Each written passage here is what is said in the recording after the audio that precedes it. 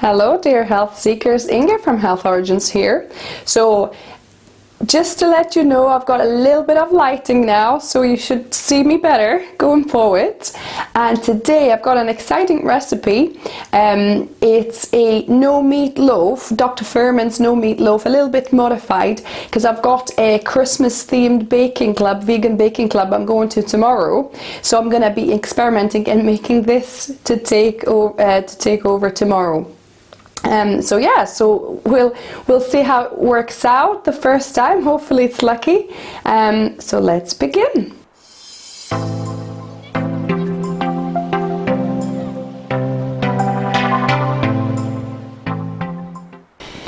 Guys, there's quite a few ingredients here. Um, so it, and it takes the longest to actually prepare everything ready.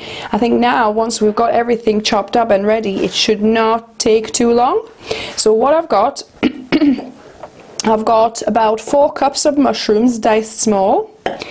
I've got two big, and by the way, I'm doing a double recipe, so I'll put a single recipe um, down, you know, in the comments. But um, but I'm doing a double recipe. So here um, is two big onions, chopped small again. Okay, I've got three cups of brown rice, so you need obviously one and a half for a single recipe. Then I've got one silken tofu that that Mark has um, has also um, drained. And then I've got a um, hard tofu that's been drained a little bit as well. Um, so you could do it just with a silken or just with a hard. In fact uh, um, I think I've been told that it works better with the hard tofu. This is like a smoked hard tofu. Um, so there's two packages and then I've got four tablespoons of soy sauce.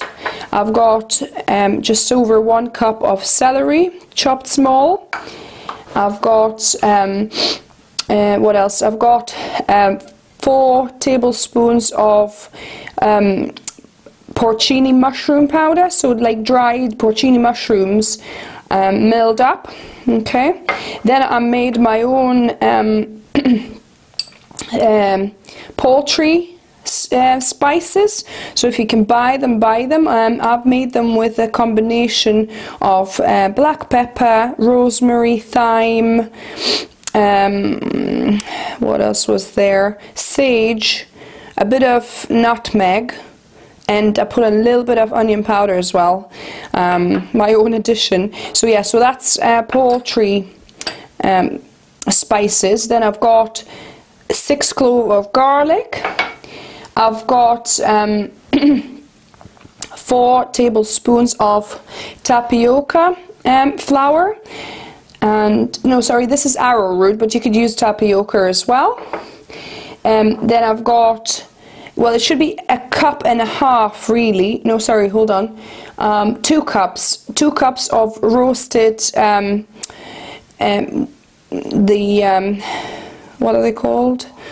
walnuts. So yeah. So um, walnuts and I haven't got enough walnuts so I used pecans as well. So and they're roasted. So it should be two cups but really um, I'm short on nuts so it's one and a half but it, it should work. Fingers crossed. And then you need also um, one and a half cups of of um, breadcrumbs okay? But here I'm actually using pulp from dried out um, soybeans. So, so, when I made um, soy milk I you know dried out the pulp and then I've just blitzed it. So it's kind of like um, uh, like crumbs. And I think it should work okay? But obviously if you want to use breadcrumbs one and a half cups for this double recipe or three quarters of a cup for a single recipe. So that's the ingredients. So what I'm going to be starting now with is just frying the um, the onion the onion and the mushrooms and the celery okay? So so let's go over to this to the um, stove. So I'm heating my uh, non-stick pot and it's um, hot now so I'm gonna add my onions. So I'll start with onions and celery.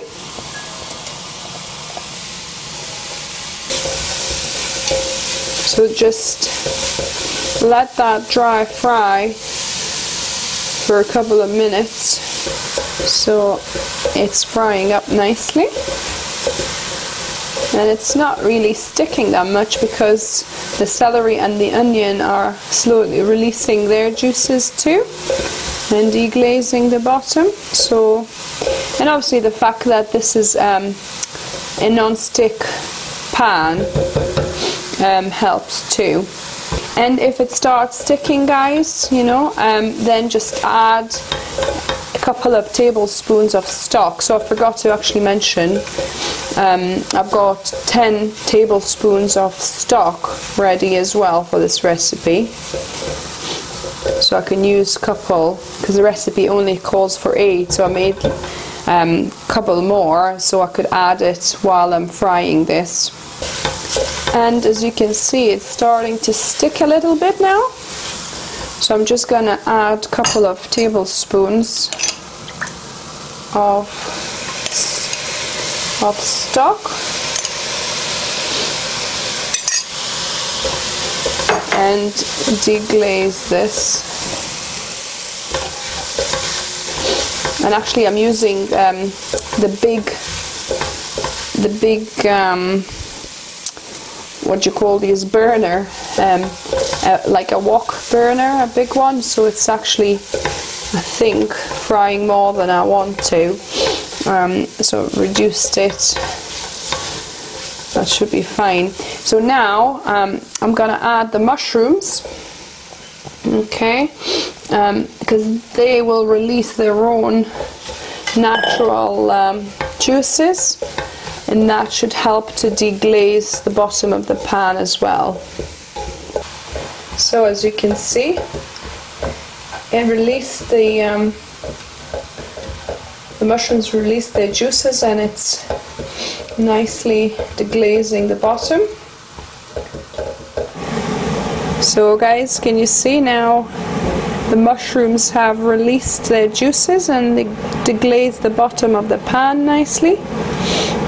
I've put a little bit of extraction fan going on because it's very steamy. So yeah, I'll give it another minute or so and then we'll add garlic and um, the frying part will be done. So now it is drying out a little, which is good. So it means the, um, the water is evaporating and flavor is concentrating. So what I'm going to do now, I'm going to make a little bit of space here in the middle and I'm going to add the garlic. So we're going to fry the garlic for about a minute. You don't want to fry it any longer than that. You don't want to burn it. And as soon as you start smelling it, that's pretty much ready. Starting to smell it now. So I'm to mix it in with the rest of it now. And the final step for this, I'm to be adding my remaining stock. So that's about seven, eight tablespoons and I'm gonna be adding all the spices. So that's poultry seasoning.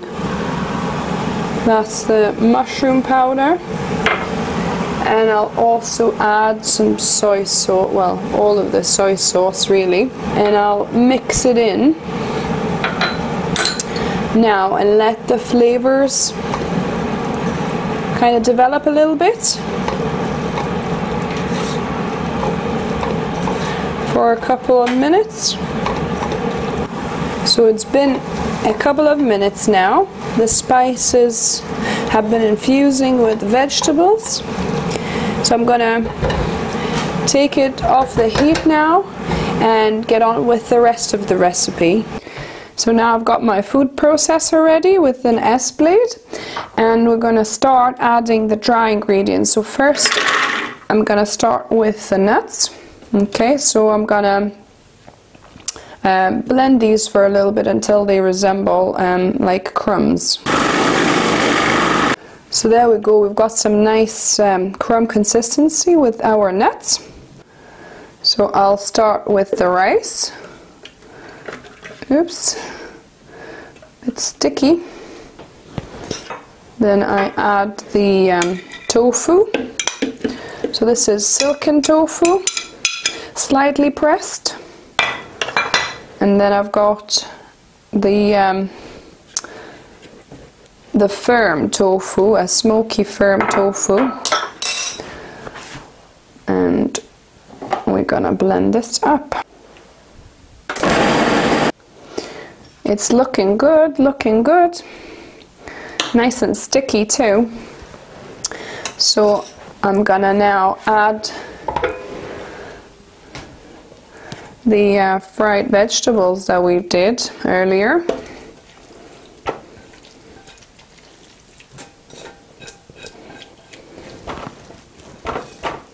Mmm, it smells delicious, all the spices and mushrooms and onion, yum. So I'm gonna add the um, arrowroot as well.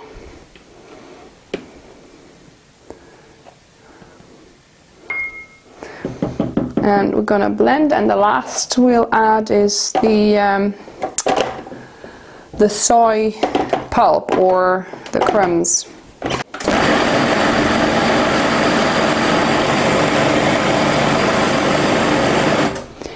and um, we don't want it too kind of mushy mushy. We want a little bit of texture still. So as you can see there's still a little bit of texture but it's nice and uniform and it smells delicious. I've got this in a bowl. I'm gonna actually um, at this point it's a good idea to taste your um, batter.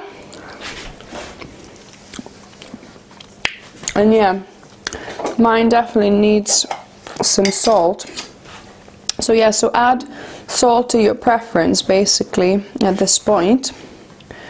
So I think I'm gonna add a teaspoon here.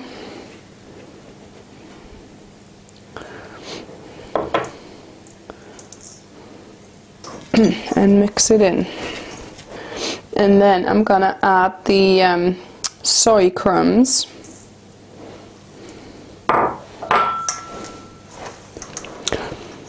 So now I've got the mixture ready. Um, we're gonna add it to a baking tin. And um, by the way, I forgot to say that my oven is preheating at 200 degrees as well. So I'm adding this mixture to my non-stick roasting tin. It's very sticky. Basically add it in and distribute it evenly in your tin. This is obviously a massive roasting tin because I'm doing a double recipe here, but you probably want something half the size. Or you could probably do it in um, bread baking tins as well. You might, you might need a couple, or it might be actually okay in one. So, so now it's pretty much even and I'm gonna be putting a lid on this if you don't have a lid um, just put some tin foil on it because you don't want it to dry out too much so for the first 45 minutes I'm gonna be um, baking it at 200 degrees so here we have our finished loaf.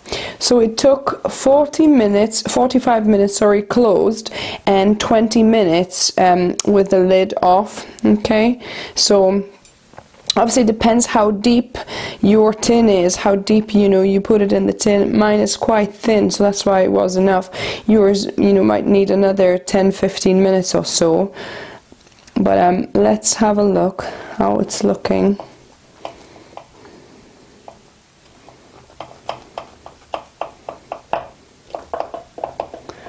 take a little sliver out. Let's have a look. Wow. It's looking pretty good, guys. it's getting pretty late, but I'll still do a little taste testing for you. So as you can see guys, um, it's, it's really late, I'm ready for bed, but you know we can't finish this video without taste testing how this no meatloaf turned out. And by the way, if you do attempt uh, making this, make sure you leave about good three hours I would say because um, it took me about an hour if not more to prepare all the ingredients to chop things to grind the spices um, to put you know things in um, in little um, containers in correct proportions and so on. So so yeah so about an hour and then it took me about 45 minutes plus 20 minutes. So yeah. So about an hour and five minutes for the actual baking of it okay? So so yeah so make sure you leave plenty of time. So let me taste test this for you guys okay? Um, there we go.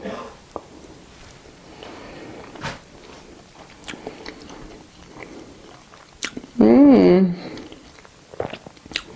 This is good veggie loaf, definitely.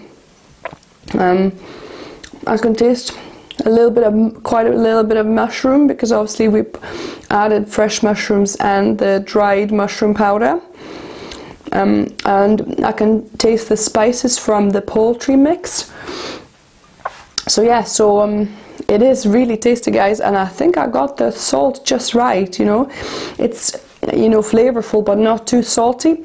And um, yeah I can see how it all would work out with the gravy with all the um, vegetables and things you know in in like kind of Sunday's dinner or Christmas dinner. Mm, a little bit of cranberry sauce that would be delicious here. So yeah guys um, if you give this a go let me know how it worked out for you. Did you like the taste? Um, you know, if you've got any other good recipes for a veggie or no meat loaf, let me know below as well. And subscribe for more videos. Give me a, th a thumbs up. Share with your friend if they're looking for a good plant-based um, loaf, because I will be making this for our Christmas dinner as well, because it is pretty good, and I hope my um, baking club ladies will enjoy it too. So, so thanks for watching guys and until next food adventure.